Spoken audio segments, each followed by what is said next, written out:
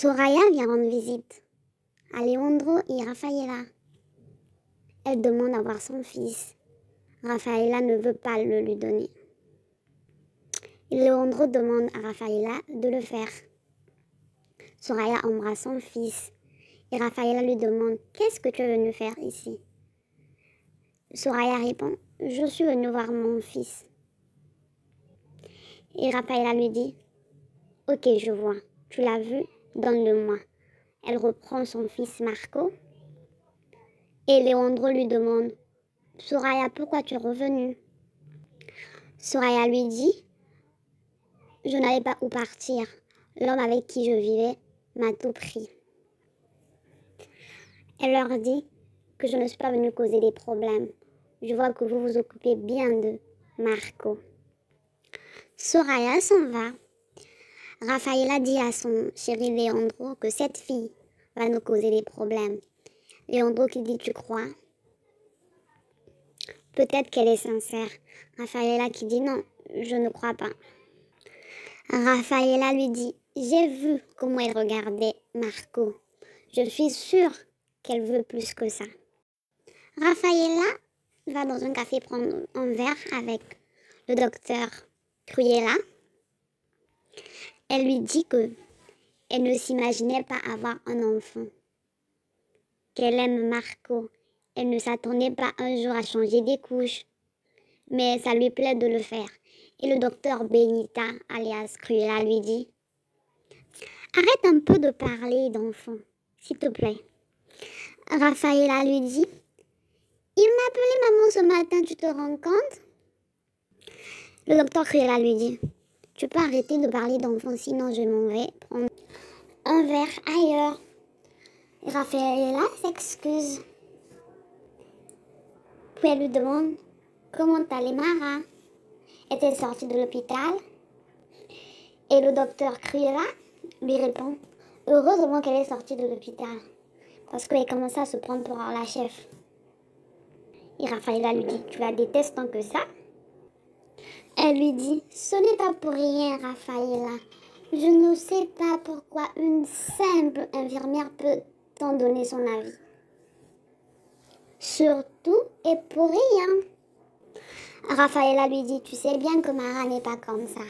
Et elle répond Tu plaisantes elle lui dit, elle se mêle même de mes cas. Elle lui dit encore, maintenant, elle se déguise même en maman de Ritinia, la fille de la transplantation de moelle. Avec ses terres-là, ses terres supérieures, comme si c'était elle la seule à comprendre la situation.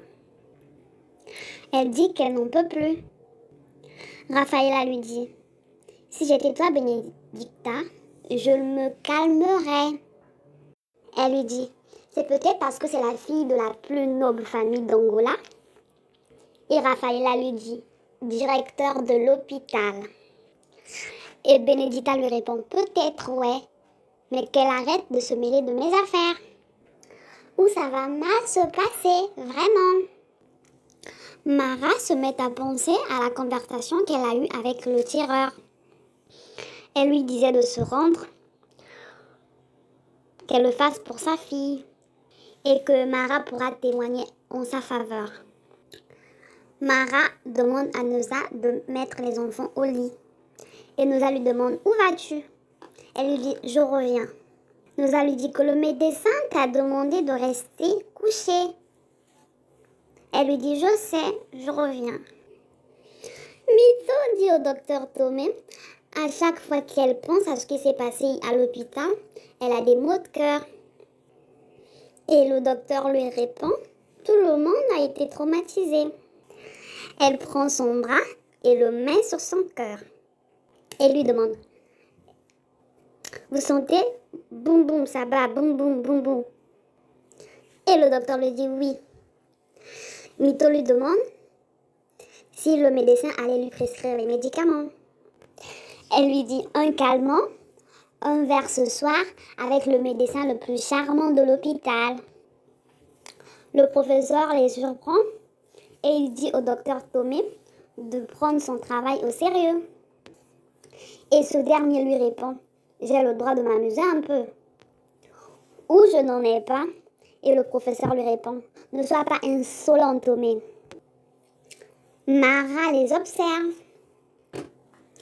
Le professeur dit au docteur Tomé, un mot de ma part et tu es viré de cet hôpital. Et Tomé lui dit, tout ça c'est pour me punir?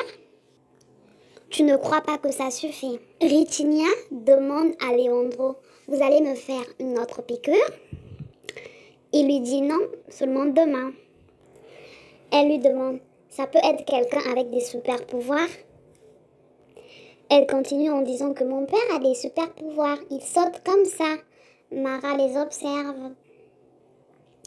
Léandro lui dit, j'essaierai de trouver quelqu'un avec des super pouvoirs. Léandro dit à Mara, tu ne devais pas être chez toi. Elle lui dit, ne dis pas que tu m'as vu ici. Elle rentre dans la chambre et dit bonjour à Ritinia. Ritinia lui demande, elle ne devait pas être chez elle? Et elle lui dit, bien oui, mais je suis venue te rendre visite. Est-ce que tu veux faire un tour avec moi? Mara. Je l'emmène voir son père. Ritinia sort dans les bras de son père. Pilar observe son fils Luis Miguel marcher. Puis elle se met à penser sur ce qui s'est passé avec Luis Miguel. Dans ses pensées, il y avait Xavier et l'ex Avita. Elle leur demandait pourquoi ils avaient tiré sur son fils Luis Miguel. C'était prévu de tirer sur Mina. Et Xavier lui répond que c'est une erreur. Que Luis Miguel va mal. Son pronostic vital est engagé. Elle va le rendre visite dans la salle de réanimation où elle dit à Xavier que personne ne doit le savoir. Tout le monde doit savoir que Luis Miguel est mort. Pilar, toujours dans ses pensées, va rejoindre la famille qui est en deuil. Elle se met à pleurer en disant Mon fils Luis Miguel,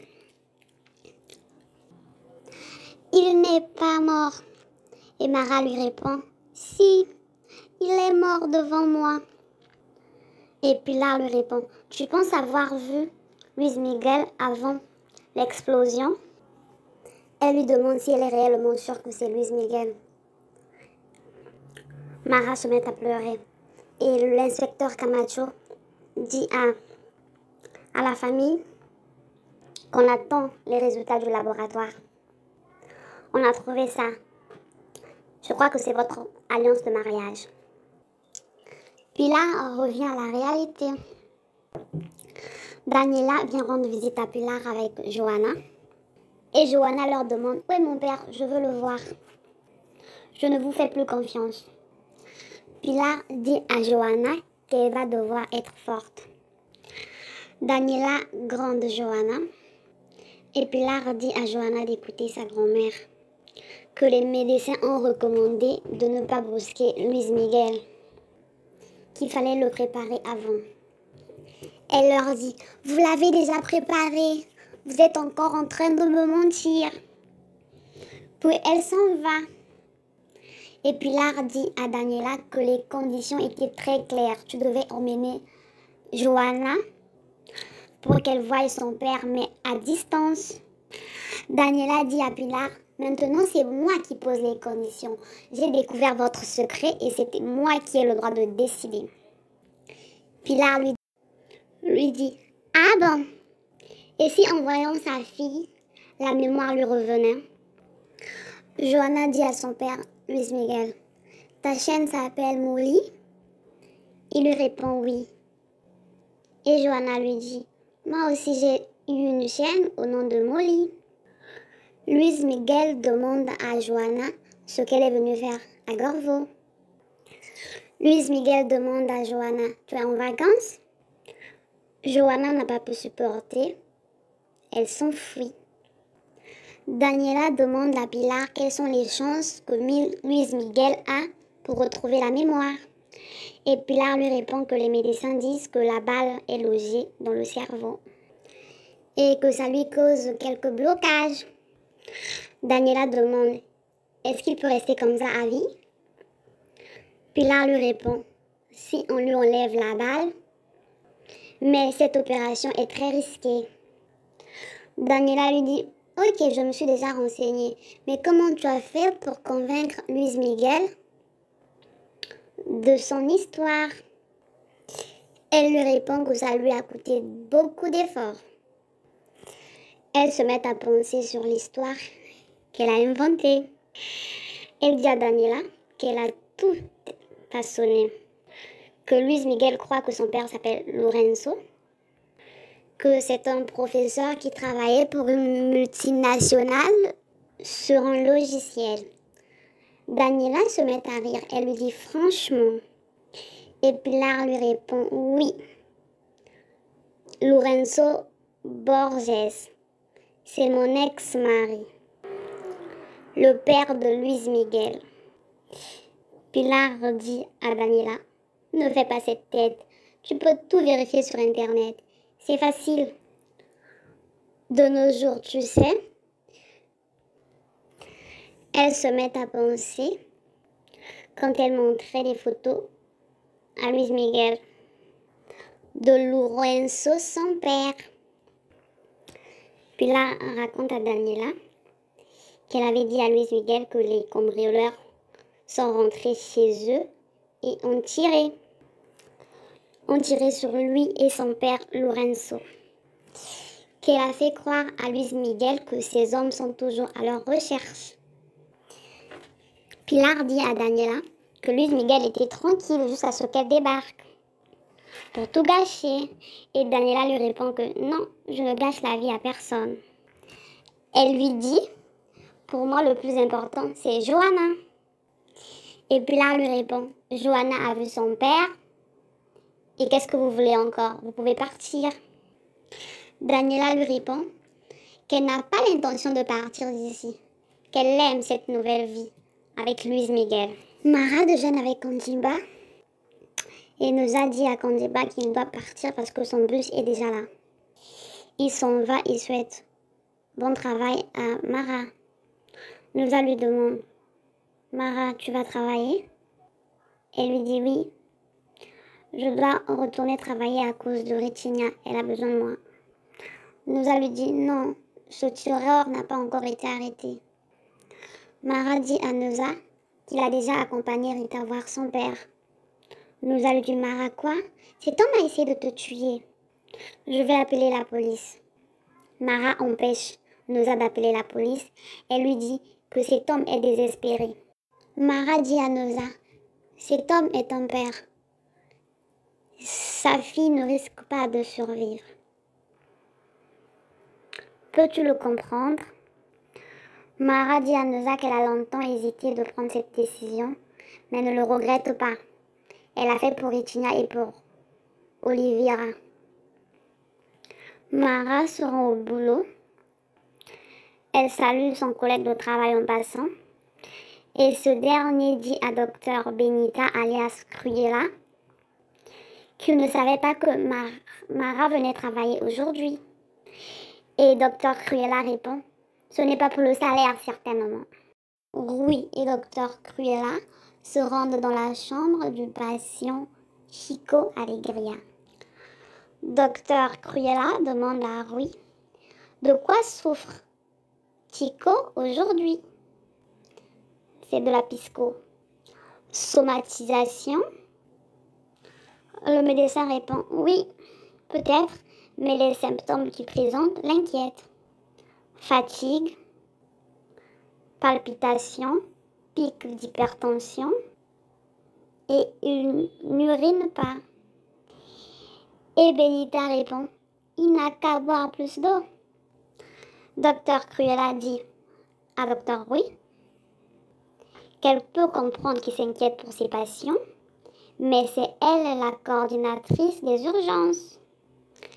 Elle lui dit, à partir du moment où tu dépenses inutilement toutes les ressources de l'hôpital, ça devient mon problème. Chico les écoute, il se met à tousser.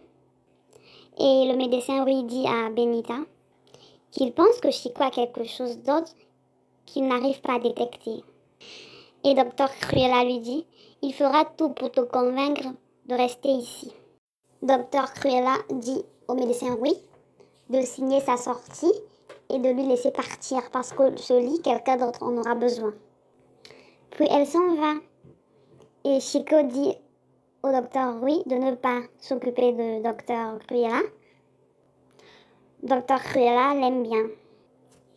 Oui demande de l'aide au docteur Tomé. Il lui dit de consulter le dossier de Chico. Tomé lui dit qu'il ne peut pas passer au-dessus de Cruella. Oui essaie de convaincre le docteur Tomé pour que Chico soit toujours interné à l'hôpital. Et Tomé lui répond que Chico n'est même plus assuré. Et Rui lui dit C'est ça le problème? Si c'était un patient plein aux as, il pouvait rester ici le temps qu'il voudrait. Le docteur Tomé lui dit qu'il verra ce qu'il pourra faire. Puis il s'en va. Mito dit à une femme de ménage que le docteur Bogos Tomé a mis un nouveau parfum. Mara va rendre visite à Retinia. Retinia lui dit Mon père m'a dit que ma maman est morte et que je ne dois pas être triste parce qu'elle veille sur moi depuis le ciel. Retinia dit à Mara qu'elle a fait un cœur pour sa mère et qu'elle a accroché à la fenêtre. Mara dit à Retinia que ta maman a des super pouvoirs. Elle peut souffler sur tous les nuages pour voir sa petite Retinia. Le docteur Tomé les observe depuis la porte. Mara demande à Retinia de prendre son déjeuner et s'en va. Le docteur Tomé demande à Mara Tu lui as dit que sa maman est morte? Elle lui dit oui. Et le docteur Tomé dit Elle a bien réagi. Le docteur Tomé demande à Mara ce qui se passe parce qu'elle est très étrange. Elle lui dit qu'elle n'est pas étrange, que tout allait bien, et s'en va. Luana, Luana dit à Bino que Norberto allait résilier le contrat avec Xavier et qu'elle a profité de ce qui s'est passé à l'hôpital et que Norberto a dit qu'il verrait avec Xavier. Luana dit qu'il va éloigner Xavier de sa vie et qu'elle ne renoncera pas. Xavier déjeune avec Norberto et Norberto lui dit Nous partons dès ce soir pour Lisbonne. Xavier lui dit Quoi Nous partons? Il lui dit Oui, j'ai convoqué nos réunions à l'hôpital pour savoir ce qui s'est passé avec la sécurité. Xavier lui dit Je ne pense pas qu'il soit nécessaire que vous vous dérangez. Je m'occuperai moi-même du diagnostic. Norberto lui dit Si vous vous étiez occupé de ce problème, ma fille, les patients et les employés de l'hôpital ne devaient pas se retrouver à la merci du tireur. Xavier lui répond Il y a des imprévus dans la vie. Et Norberto lui répond Quoi Des imprévus? C'est pour empêcher ces imprévus que j'ai engagé une société de sécurité spécialisée qui est la vôtre. Donc, à partir de maintenant, je prends les choses en main. Et Xavier lui demande, ça veut dire que vous voulez rompre votre contrat avec Sconda Il lui dit non, j'analyse le problème. Xavier lui dit, très bien, je vais aller me préparer. Et Norberto lui répond, ok, on se voit plus tard. Xavier s'en va. Norberto passe un appel et demande à ce que le jet soit préparé. Xavier se rencontre avec Loana. Il lui demande son argent. Et Loana lui dit Tu crois que je n'ai rien à faire? Xavier lui dit que le temps s'est écoulé. Et Loana lui répond qu'elle ne peut pas avoir cette somme en si peu de temps. Xavier lui dit Ne blague pas avec moi, Loana. Tu sais de quoi je suis capable. Et Loana lui répond Oui, je le sais. Si tu le dis à Norberto, tu ne verras pas la couleur de cet argent. Luana lui demande de s'inquiéter plutôt pour la réunion qu'il aura avec Xavier à Lisbonne. Et Xavier lui dit Ah oui, je vois, c'est toi qui es derrière cette réunion. Luana lui dit Oui, tu croyais que tu devais arriver et détruire ma vie comme ça sans que je me défende. Elle lui dit de bien s'amuser à Lisbonne, s'il peut. Daniela débarque chez Pilar et Pilar lui demande ce qu'elle est venue faire. Daniela lui répond Je sais que Luis Miguel est à la pêche. Daniela dit à Pilar que je t'avais donné deux jours pour parler à Luis Miguel et de te couper de tout. Mais ces deux jours se sont écoulés. Pilar lui répond Ce que tu me demandes est trop dangereux. Et s'il se souvenait de quelque chose Daniela dit Si vous me renvoyez maintenant, Luis Miguel sera au courant de tout. Je vais tout lui dire. Daniela dit à ces derniers jours, vous avez eu Louise Miguel seulement pour vous. Maintenant, vous allez devoir le partager. Daniela demande à Pilar, vous décidez quoi? Louise Miguel croise encore Johanna dans la forêt. Il lui dit encore toi? Louise Miguel dit à Johanna qu'il vient de pêcher en poisson et que c'est sa première fois de le faire qu'il est nul en pêche. Et Johanna lui demande Tu n'as jamais été un pêcheur? Il lui répond Je crois que non. Johanna demande à Luis Miguel As-tu déjà pêché? Il lui dit non. Mais tu étais quoi avant? Il lui dit Je ne sais pas. Luis Miguel lui dit C'est compliqué. Et Johanna dit à Luis Miguel qu'elle doit partir rejoindre sa maman. Luis Miguel dit à Johanna J'espère qu'on pêchera un jour des poissons. Elle lui dit ok, pas de problème, puis s'en va. Rafaela déjeune avec Soraya. Elle lui demande si elle est juste venue voir Marco ou elle a l'intention de le récupérer. Soraya lui dit Écoute, tu sais bien que je suis venue en paix. Et Rafaela répond Tu as abandonné ton fils, tu l'as vendu à Mafalda et tu as osé affirmer que Telmo s'était enfoui avec lui. Raphaëla lui demande de la regarder. Elle lui dit Quelle mère es-tu? Raphaëla dit à Soraya Tu ne peux pas débarquer comme ça et puis récupérer le petit, je ne le donnerai pas. Léandro et moi sommes ses parents. Elle lui répond qu'elle est venue en paix, qu'elle n'en a pas besoin où elle s'en va.